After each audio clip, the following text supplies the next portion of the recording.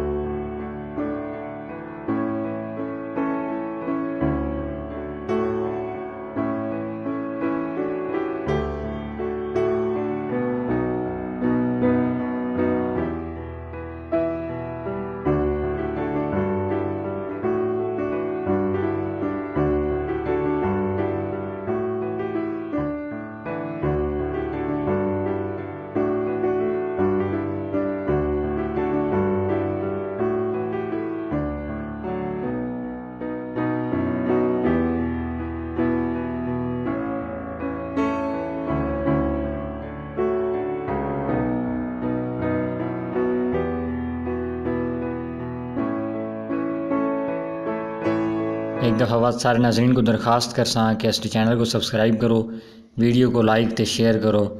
तो अगर तुसों को डोगाजन ने हवाले नाल कोई डेटा मौजूद है वीडियो या तस्वीर नहीं शक्ल तो इस चैनल ने मेमरान ने व्हाट्सएप नंबर से रबता करो और असा कोई डेटा पहुँचाओ ताकि वो हिस्ट्री ऑफ़ डोगाजन ना हिस्सा बन शुक्रिया।